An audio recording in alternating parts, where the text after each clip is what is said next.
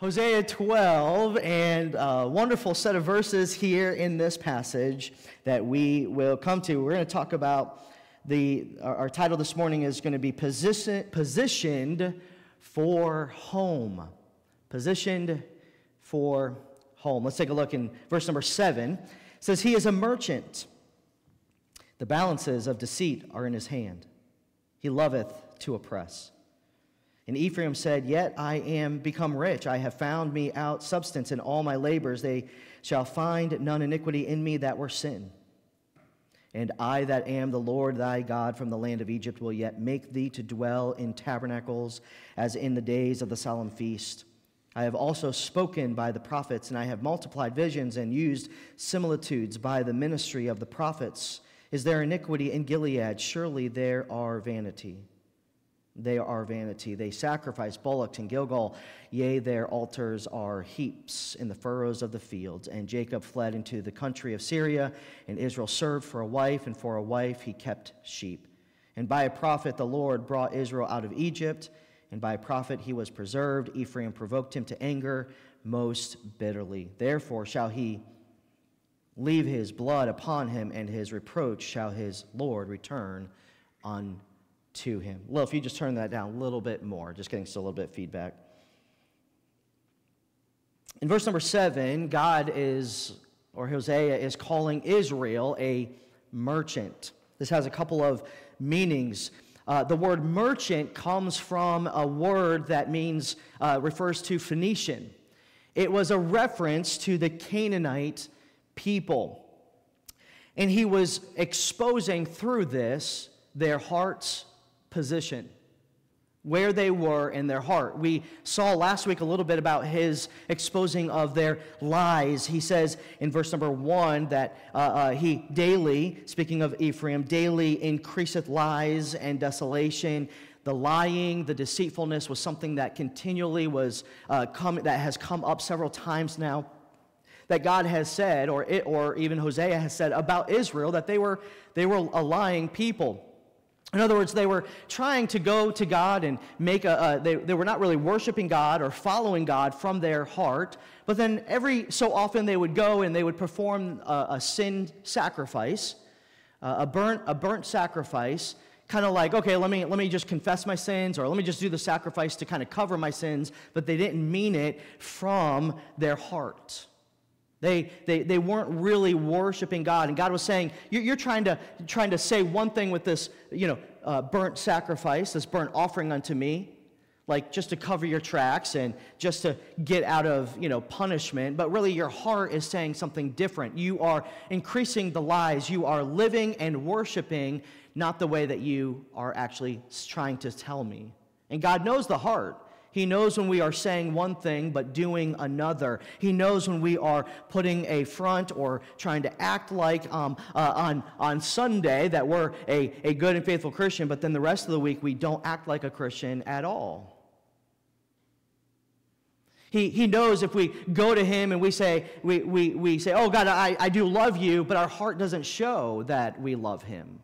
In a marriage, you can do things to, you can, you can, you can say, I love you, but if a spouse doesn't see love shown through your actions and your behaviors and, uh, uh, and, and relationally between the two of you, saying it is one thing, but doing it or showing it and expressing it through your lifestyle is another.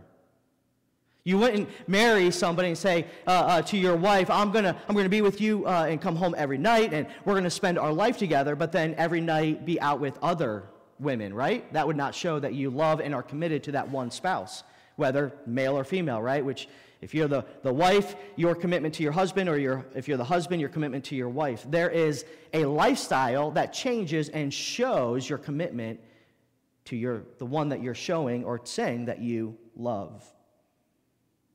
And God is saying that you are deceitful. The word merchant, like I said, it goes back to a word that means Phoenician. He is referring to them. They know the Canaanite people. The Canaanite people, they're the descendants of Canaan. Canaan was the son of Ham, Ham, the son of Noah. And, and the, the descendants of Ham, through his son Canaan, all the Canaanites, they were merchant people. They were tradesmen. They were those that in the marketplace, they, they would buy, sell, and trade goods.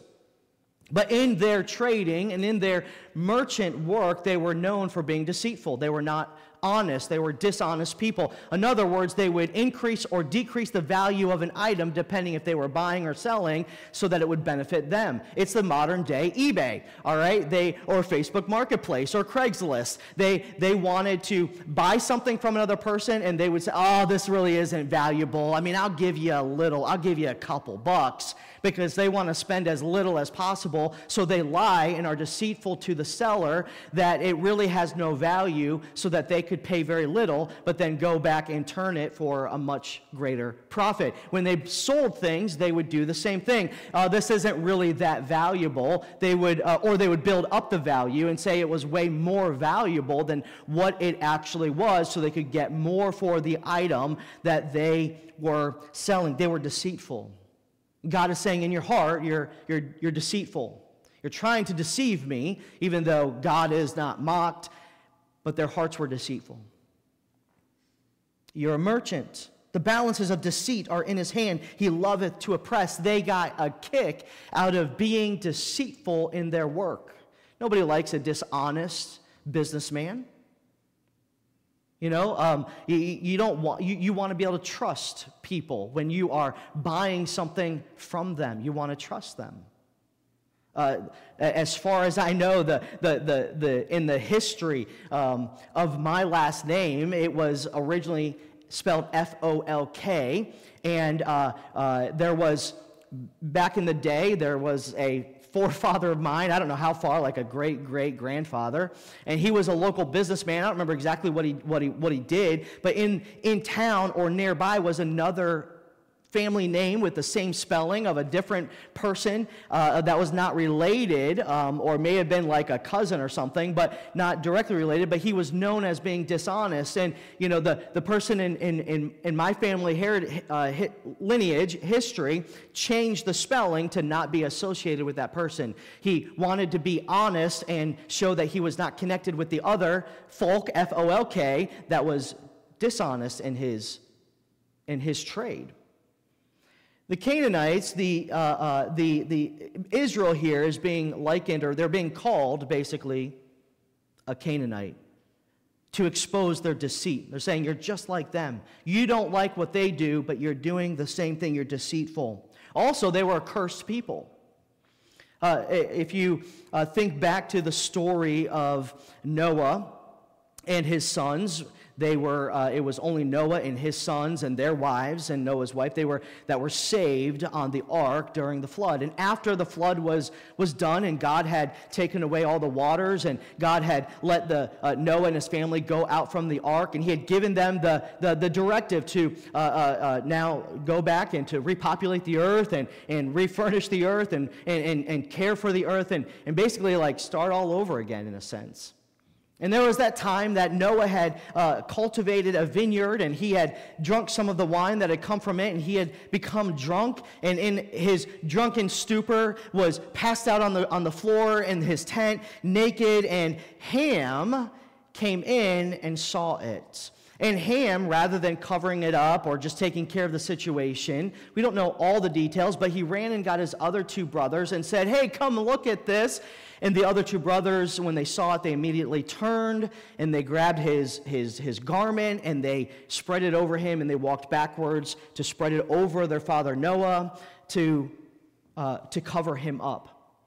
We don't know all the details. Uh, it doesn't tell us everything that, that Ham did, but when Noah came out of it and he learned what had happened, what Ham did, there must have been some mocking. There must have been some exposing. There must have, you know, obviously Ham uh, uh, uh, did something that uh, embarrassed and was shameful to Noah. He cursed not Ham, but he cursed his son Canaan.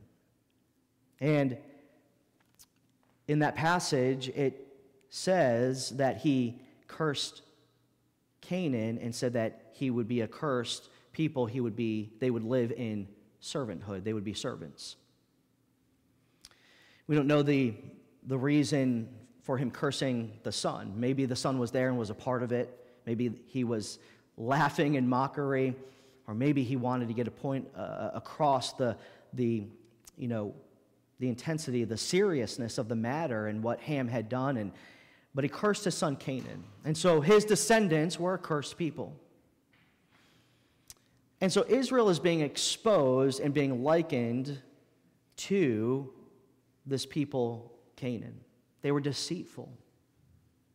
You know, living in deceit and living a life of deceitfulness and dishonesty and lies is never a life of peace and joy and rest, is it? And God wants to give that to us. We find that in Him. Spiritually, we can search for spiritual rest and peace, and we, we can try to find that through uh, works and deeds and religiosity, and we can try to find it in many different forms and many different places. God says, I have a way for you to receive that. That's in me. And in this era, in this time, in the old covenant time, that was found through following God and God alone and not having any other gods before them. And Israel had disobeyed that. Today, uh, uh, uh it is found in restoration to God, but through faith in Jesus Christ alone. And it comes when we have the right position before God. God wants to give us a spiritual dwelling place and a spiritual home, but we have to have the right position before Him to find it, to receive it, and to remain, uh, uh to enjoy it. We see a few positions in this passage Verse 7 begins to expose that, their deceitfulness. But let's see Israel's position. It's one of pride and self accomplishment. So, in their deceit, deceit is bedded in the foundation and in the heart issue of pride. When they are called out for being a merchant, being deceitful, right? It's like when when, when somebody is being called out for, for something and the person responds, Yeah, but I, this is exactly what Israel does. Verse 8, and Ephraim said, Yeah, yeah, yeah, but, yeah, but, yeah, but, uh, you, you say I'm deceitful, you say we're, we're dishonest people, but yet I am become rich. I have found me out substance. In all my labors they shall find none iniquity in me that were sin. What Israel is doing here is they're, they're first of all, they're exposing their pride in their own uh, selves and not being willing to receive the correction of God. And they're showing their pride in their self accomplishments. Look what we have done.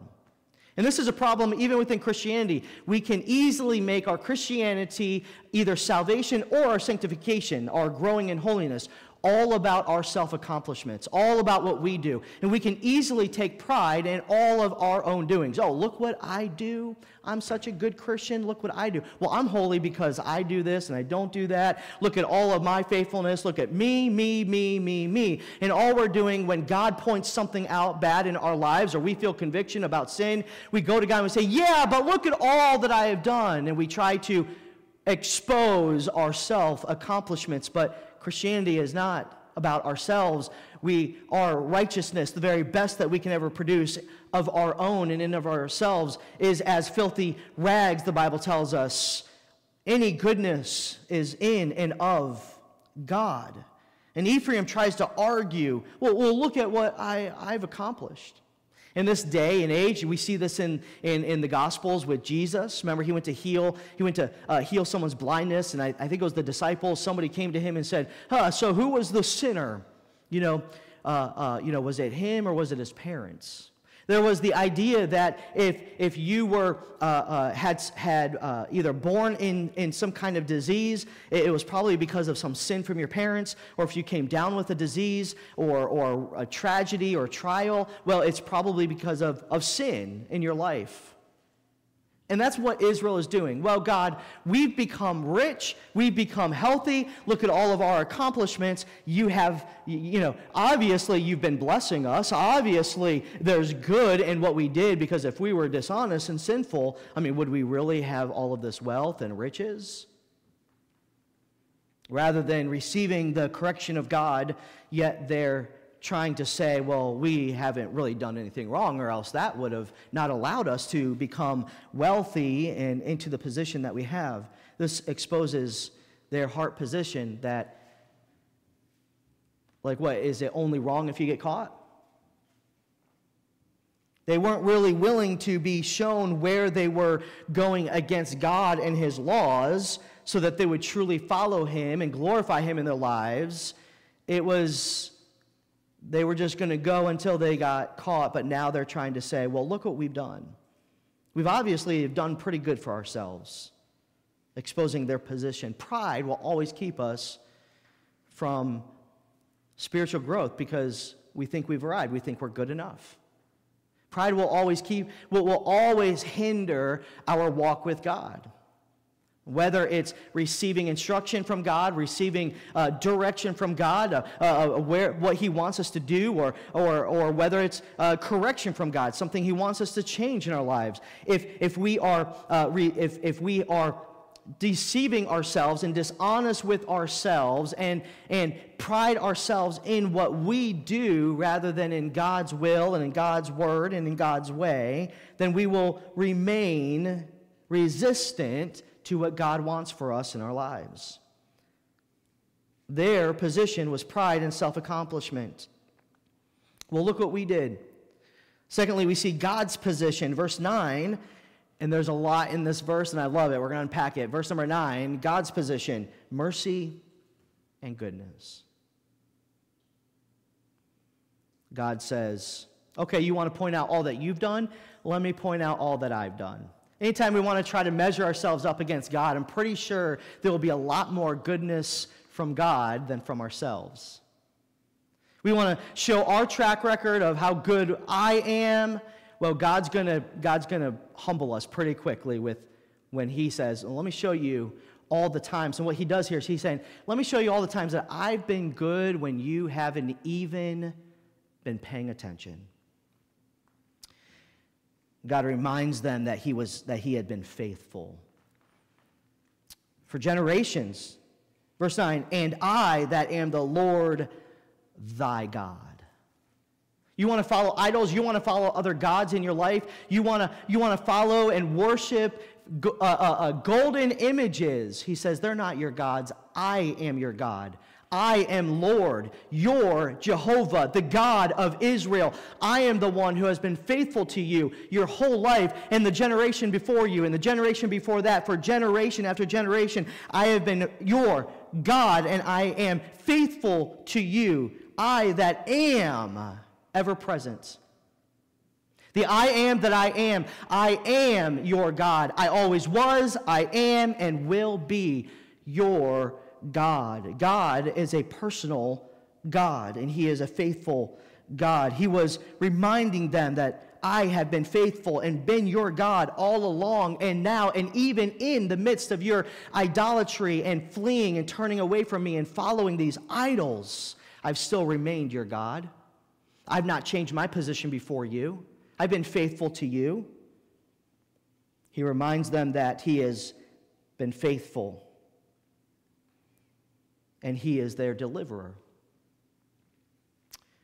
And I, that am the Lord thy God, from the land of Egypt. Reminding them that, hey, when you were in over your head, when you had no ability or strength and a, a, a, position to be able to get yourself out of what you were stuck in. When life was so hard for you that you couldn't get yourself out of it, when you were in captivity, when you were when you weren't even you didn't even have a place of belonging, you were owned by the Egyptians, you worked by the tasks that they gave you. Everything that you had was by their hand. You couldn't get yourself out of it. You couldn't deliver yourself. You had no freedom. You had no rights. You had no, no place of belonging. You had no home. You, you were slaves. And I delivered you. We were talking about this a little bit recently, this past, I think, week in, in our home. And, and, and, and I believe it's estimated that there was about a million Israelites when they fled, when they were freed from Egypt. Could you imagine that? You know, like you, you see like the old movie of uh, uh, Ten Commandments or the pictures that we see today, and it almost looks like, you know, oh, there's this group of like 100 Israelites coming out of Egypt. I mean, could you imagine, you know, uh, like, I don't know, like if, if Moses was like, all right, let's go, come on, you know, and he's sitting there for like a year, just, all right, come on, come on, yep, keep going, keep going. God is saying, hey, the, I delivered you out of hardship, captivity, sin. What you couldn't do for yourself, I did for you. I am your deliverer. And he says, I am your restorer. Not only did God deliver them out of Egypt, the hardship, the captivity, uh, uh, what we often picture as the place of sin uh, uh and destruction. Listen, God delivered them, but not only did he get them out, but he got them home. He restored them. Look at what it says I that am the Lord thy God from the land of Egypt, will yet make thee to dwell in tabernacles. Some believe that this phrase is like a, a threat that he's going to put him back in this place of wandering, but really it's a, it's a statement of hope. It's a reminder from God of what he did for his people when they were when they had no name for themselves, no rights for themselves. They had no place of belonging. They had no home. God gave them their own home. There's no place like home, is there? Ever go on vacation and you get home and it's just so good to be home, right? And it's kind of like a sigh of relief. It's like you need a vacation from your vacation. You ever feel like that? Where do you go when you need a vacation from your vacation? You go home. Home is a wonderful place, isn't it? Everyone needs a home. The home is a wonderful picture and what God is doing is He is reminding them of the picture of His restoration. The word uh, tabernacles there in verse 9 is a word for tent, it's a word for home.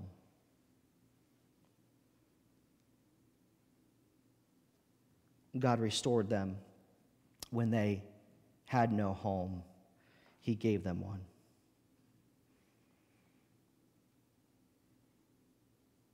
The home is a picture of a place of safety, shelter. It's a place of peace and joy and restoration. That's why when you're tired and you get home, ah, when you had a busy, uh, a fun, but a busy vacation and you get home, ah, home. You know, when you, when you had a bed to sleep on on vacation, but you forgot your pillow at home, and you get home and you get to get back in your own bed on your own pillow. Ah, when you had a hard and long day's work, where do you go? Where, do you, where are you renewed and restored? Home.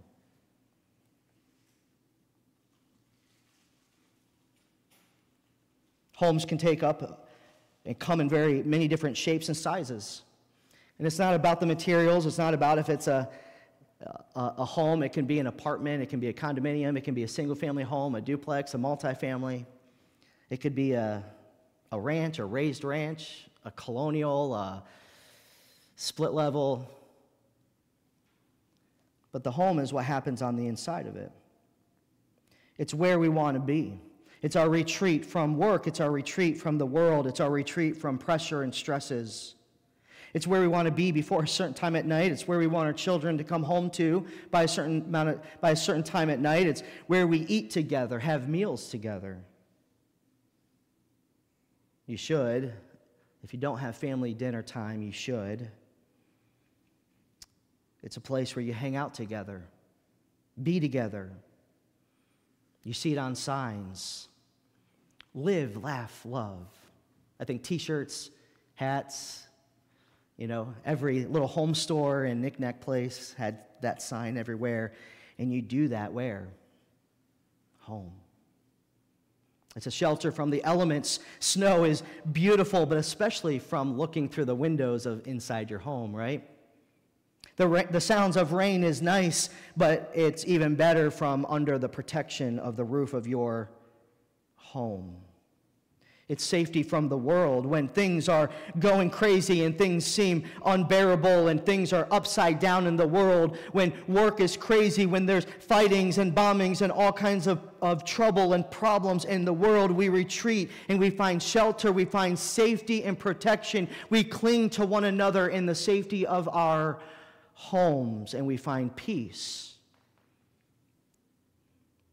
It's safety from the evil one around us. It's the place in which we can gauge and control good versus bad, right versus evil, the teachings of the Bible. We can control and gauge the content, the entertainment, and the influences that are in front of us and around our family. We find peace in the truth of God's word and in the bounds of our home. It's joy. It's the place where we play games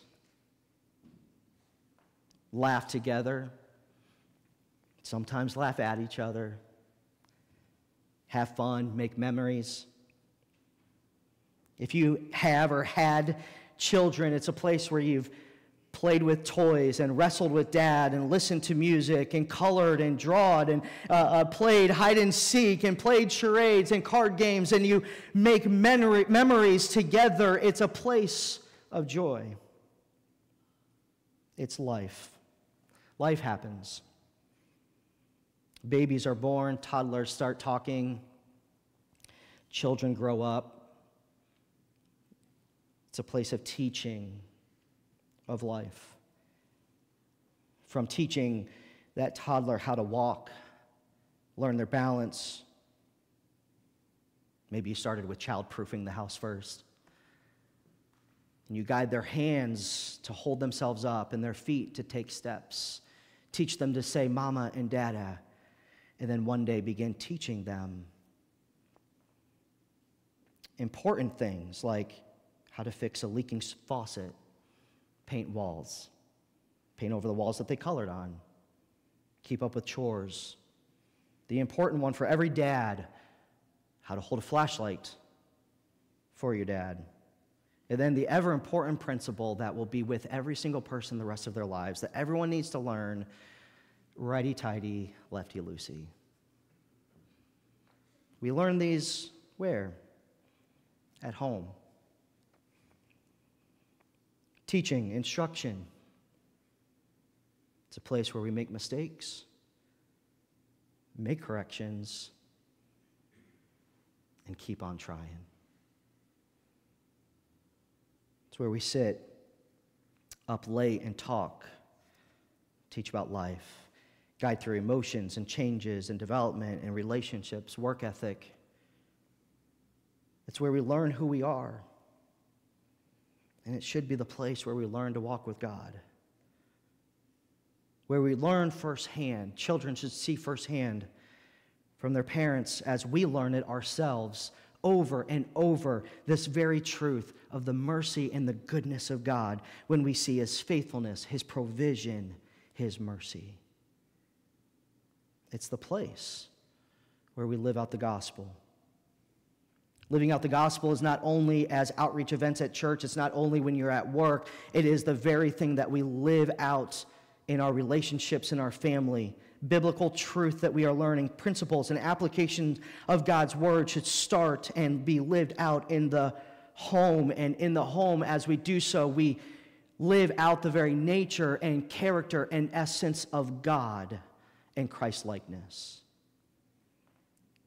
Tent, tabernacle, apartment, condo, house when the home functions good and well, it's a place of safety and shelter. And it's a place that when you have a home, it's a retreat, it's a place of safety, it's a safe haven. Everyone needs a home. We understand as living in a fallen world that unfortunately there are times some grow up with not having that kind of home. And maybe if that was you, you grew up with a home where you didn't feel safe or protected. It wasn't a place where you wanted to retreat to. Hmm. It probably is a place that you have tried to have yourself in adulthood. or you can purpose to have that. And the truth is is God calls us to remember his faithfulness and mercy that we don't make that ourselves, he helps us to make it for us. We find that first and foremost spiritually in Him. God is our retreat, our place of safety and protection. In Him is our spiritual home. And when we live out that, those truths in our physical home with our physical family, then we provide to our families and to one another a place that is that of peace and joy, shelter, safety.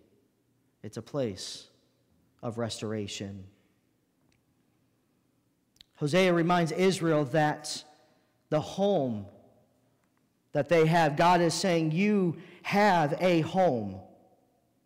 And he says, And I gave you that home even despite your sin and even despite your falling away from me, I gave you restoration. I restored you to be a people in your own land with your own homes, and I will yet do it again. Why? Because I am a faithful God. I am a delivering God. I am a God of mercy and goodness, and I will yet do it again, he says.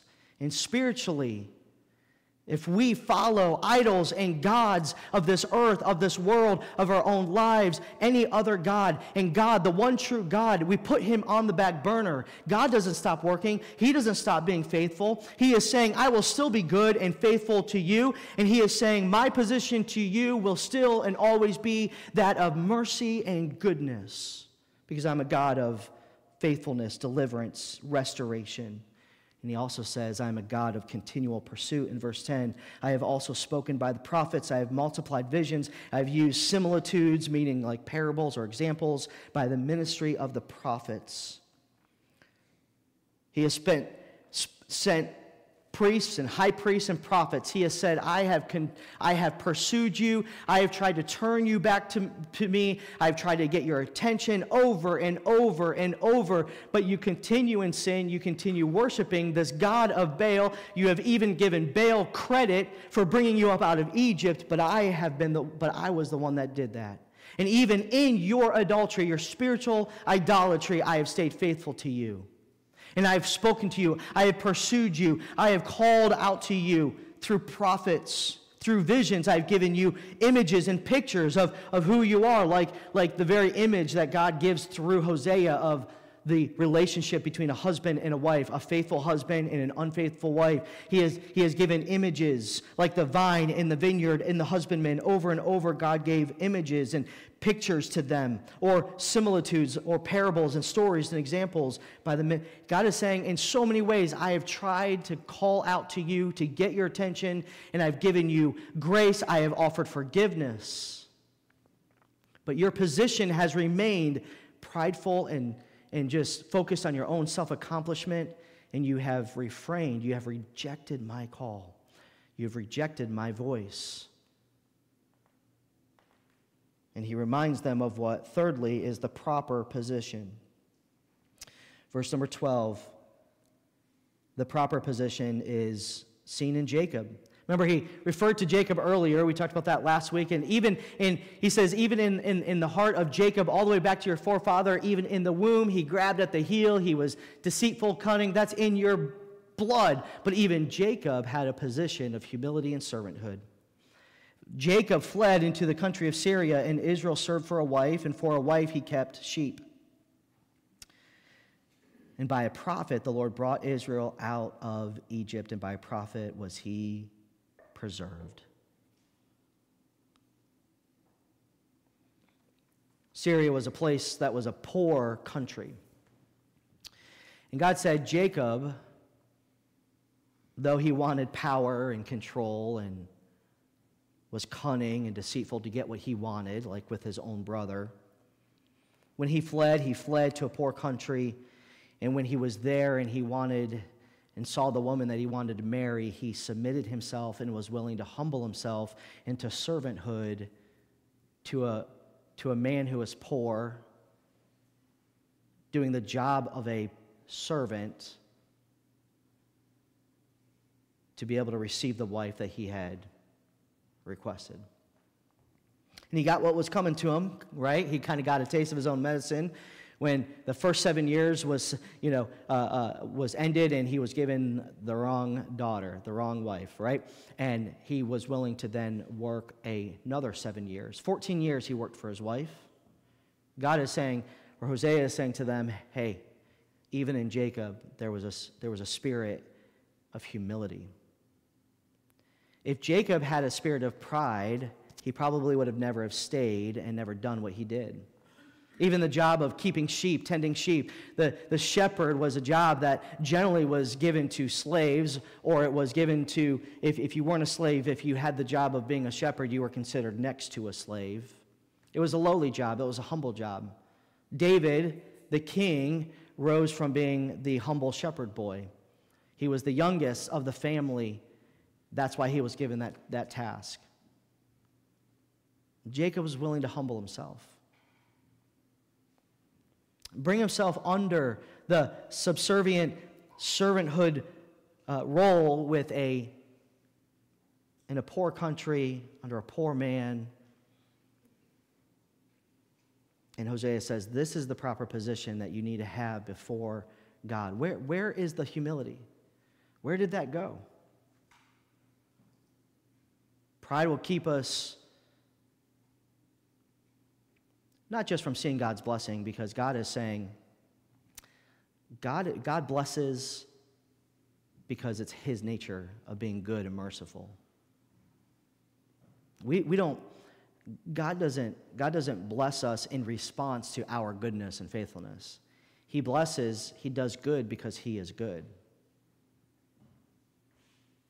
And God can bless faithfulness if He so desires. But what He's calling on Israel is to look back in their history that uh, even when they were unfaithful to God, God was still good and faithful to them. And I think if we all took time, we could see that in our lives as a church. We can see that in our families and in our homes. That even when we weren't walking with the Lord, or even when, when times were hard or difficult, man, God was faithful. He was there. He was good. Why? Because God is God. And God is calling on us to see His faithfulness and His goodness to cause us to turn our heart's position to Him through a heart of humility and servanthood, willing to uh, submit ourselves under Him, follow Him, and to serve Him with gratitude, with humbleness. Position yourself to return home. Maybe there's idols or other gods, the things in your life that you really have pursuing in your life more than God Himself. Maybe if God has been on the back burner in your life, He hasn't been really what you've been living a life of worship to and towards, and, and you haven't really lived your life out of worship to God, but more so out of worship to the things that you want in life. And you look back and uh, really just, just like Israel, can say, well, yeah, look at all the things that I've accomplished in my life. Every step along the way, if we humble ourselves, we'll see God's hand in everything.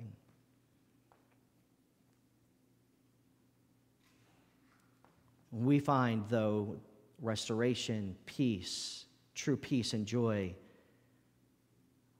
when we come to God in humility and we submit ourselves to Him there is where we find spiritual peace and rest, spiritual joy, just like we have when things are good and healthy in a home, a place where we retreat and are restored. God offers restoration. And for Israel, it was to repent and to return to Him as their true God from their heart's position because God has not changed. He is still their God, but in their heart, He wasn't, their heart wasn't, God's heart was after them, but their heart was not after God. Today, God calls on us to turn our heart towards Christ. Jesus said himself, I am the way, the truth, and life. No man cometh unto the Father except by me. We, we find our place, our dwelling place, spiritually in God through Jesus Christ. But the wonderful thing is, as we find our true home spiritually, that flows into the rest of our life. Because no matter how hard it gets in the world, no matter how dark it gets in the world, no matter how difficult it gets in the world, at the workplace, in relationships, and in trouble, with finances, with all the things that this life is, we can still have joy and peace. Why? Because when we are following Christ, when we are in Him, we know we have spiritual peace and rest. And we can always return home. There's no place like home. And this morning I want to encourage you if you've if your heart truly hasn't been home with, with God through Christ, to make that decision today to trust Him as your Savior. Or maybe you've wandered a bit, but it's okay. God hasn't left you. His arms are open, and He invites you come home. Find spiritual peace and rest in me. That's what God's invitation is. So let me encourage you to respond this morning by turning to God for spiritual restoration. You can't find it through self accomplishment. You can't find it through wealth and riches. We, we find it in Him. He restores us. Humble yourself before Him, trust and follow His ways. Let's bow our heads this morning and take a moment to do just that respond to Him through these ways with a spirit and a heart of humility.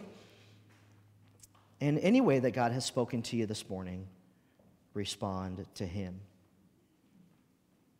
If you're a believer this morning, if you know for sure that you're a Christian, that you have trusted in Christ as your Savior, I want to invite you to, to take the next couple moments to respond and pray to the Lord. If you're here today, you're not sure that you are a Christian or that you've received that true spiritual restoration, I want to encourage you to turn to Jesus first and foremost this morning through faith in Jesus Christ. The ultimate picture of God's goodness and mercy, and his ultimate picture of his pursuit, like he sent prophet and images and all these different ways. The law was just to show Israel that they couldn't, they couldn't receive holiness on their own, that they needed help. And God knew that He was going to send, He would come Himself through the form of the God's Son, Jesus Christ, come to this earth, live in holiness, and then die in our place, in man's place, to pay man's penalty of sin, and then raise from the dead victoriously over sin. The Bible says if we turn our hearts to Him, if we believe in Jesus, that He died and that He was raised from the dead, thou shalt be saved. Turn your heart to Jesus Admit that you're a sinner. All have sinned and come short of the glory of God. We all need a Savior. Believe in your heart in the Lord Jesus and call on Him, confessing your sins and Him as Lord of your heart and life to be your Savior. You can say or pray to, to God something like this Dear God, I admit that I'm a sinner and understand there's a penalty for my sin. I believe in Jesus as my Savior and ask you to forgive me my sins and save me today. The Bible says if you pray, it's not, it's not the exact prayer, but it's the faith in your heart. If you prayed that, if you called on God to believe in Him as your Savior for the first time, the Bible says you have been saved. And if you did that today, or if you have any other questions, I want to ask you to stop by the, our, our table with our counselors in the back and let them know either that you you did make that decision to trust Christ, or you have questions about that, and we'll be glad to help you further with any questions that you may have. When you find spiritual restoration in the salvation of Jesus, you'll find spiritual peace in your home, your spiritual home, your dwelling place with God.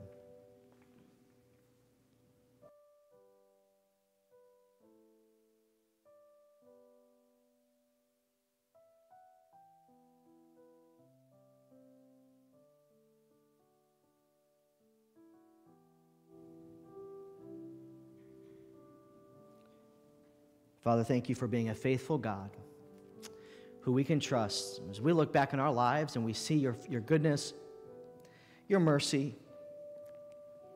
your faithfulness, help that to stir and renew our trust and faith in you for maybe something we're facing today or something that we may face in the future. Help it to stir us to stay close to you and to follow you, to trust you, seeing your love for us. May it draw us close to you. Help us to walk in it and to be faithful to you as well. In your name we pray. Amen. Well, thank you so much for being here this morning and uh, appreciate your, your time today. I want to share uh, with you a few things before we dismiss. We will have our growth classes in a few moments. If you're able to stay for that, we'll have our adults upstairs and our kids will be downstairs. So if you're able to, to, to stay for our class time, you are welcome to. There's some uh, snacks and coffee in the foyer uh, out there in the lobby if you'd like to enjoy some of that. But I wanted to share with you, last week I, I, I didn't really mention anything, but I wanted to just share with you, um, uh, as you are aware, we had our three weeks of outreach in the, months, in the month of July. We had a week of basketball camp, and then a week of vacation Bible school, and then a week of basketball camp once again. And um, we just, we praise the Lord for all that God did through that. We were able to uh, just reach out to many uh, children in the community, in the area, and um, uh, for getting that kind of back up and started, doing a basketball camp that we've never done here before, getting back into doing the, the VBS, things like that. It was, uh, it was a good mix of kids that we had, and um, several that we were able to get to know, even from the neighborhood and in the area area and neighboring towns. And um, uh, it was just, it was encouraging to see uh, what the, who the Lord brought in and how we were able to, to minister. And really, that's what it was about, was just loving and ministering to the kids and uh, sharing the gospel with them. So thank you for those that came out. Uh, we had a great time getting to know some mission teams from these other churches and um, really able to make some new friends in that way.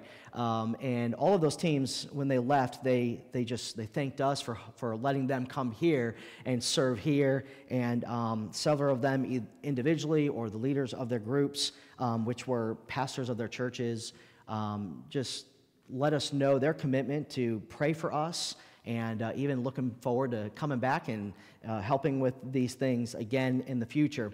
And so it was even neat just to, to meet them and uh, see how God is using them, a church from churches that are larger, and they have the capacity to send mission teams out to places that can use the help. And uh, so it was, it was just a blessing to serve with them and uh, with you and with them, and to see that all that God did. So just wanted to give you a little bit of, of a recap on that, but everything went, went really well, and just really pleased with all that God did. Um, Ladies Fellowship coming up on Saturday, August 17th. There are some sign up sheets for that in the back. Um, I think is it one that if you're attending and then, or just if you're bringing something, but there, will be a brunch time. And um, if you can sign up to bring something, uh, for the brunch, and if you're going to be there uh, Saturday the 17th from 10 to 12. And so all ladies are invited, um, grade sixth grade and up um, you are uh, uh, invited to that. So come and have a good time with that. I know they, they're always, it always is a good time. And so mark that down August 17th from 10 to 12. And if you can bring something, you can sign up for that. If you, if you can't bring anything, that's okay. Just come and be a part of that time of fellowship with the ladies as well. All right, we will uh, resume our midweek Bible study this Wednesday at 7 o'clock. If you can join us for that, we'll meet right up here and have a time of Bible study and uh, uh, get back into into doing that. So looking forward to that. Let's stand together. If you have an offering, uh, the box is in the back, of course. You can do that online. And I uh, appreciate your faithfulness to giving to the work of this ministry um, that we do each and every week. All right, we'll stand and we'll close in prayer. I didn't tell him I was going to do this, but Sam, would you come and close this in a word of prayer? Would you mind doing that? Come on up. Um, I, I, I, don't want to uh, make a big deal, but um, I, I just wanted to, if, in case you have had any questions, um, just kind of give you the, the, the, layout, Sam is basically here for free labor. No, I'm just kidding. Um, um, I, one of these days, we'll have him just share the story from his perspective. But um, he has just had a heart to, he was praying about some next steps for him in his life and what, what God wanted for him to do with his life. And, um, and he was talking with his students or youth pastor, and who knew me, and, and he, was, he felt like the Lord leading him to, to go somewhere to give himself to just serving the Lord and, and, and the church, whether on a mission field or even here. And, um, and so his youth pastor was a friend of mine and said, Hey, how about the mission field in Massachusetts? And uh, there's several things that God had already lined up, like family and friends in the area, housing, and all of that. And Um, and, and so if you were wondering, like I didn't bring him on as far like, like we're paying him. I hate to say it that way, but he came with that understanding. Um, so if you're like, man, how are we paying? Like he's just, he's just here to serve. And um, I said before, he's not here to replace anybody either.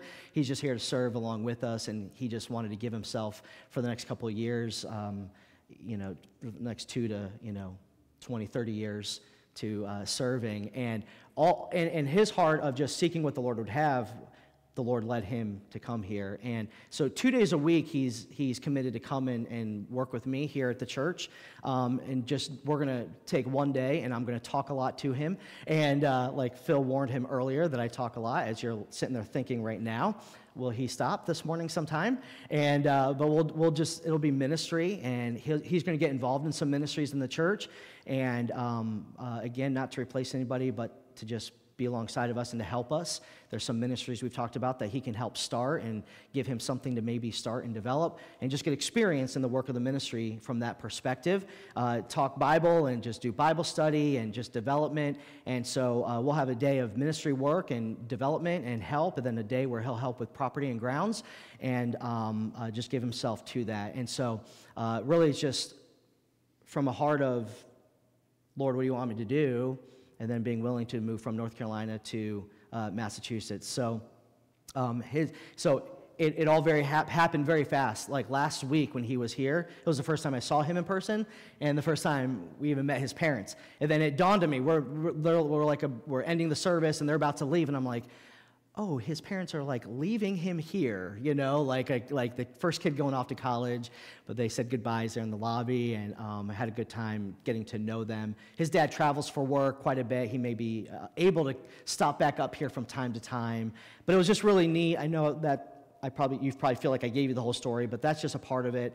But I just want you to get to know him and know why he's here. This kid from North Carolina, this kid with that southern accent, and uh, he'll be just doing things with me during the week, um, but just here to serve. So you'll see him get involved in different ways. You may see him part of the the service up here on Sundays at times, or uh, in kids classes. He might be kind of like here, there, and everywhere for a little bit uh, as we kind of develop into honing him into main strengths and giftings that God has given him and where we can really work at developing some skills and, and ministries in and through him. So I appreciate that and his uh, willingness to do so.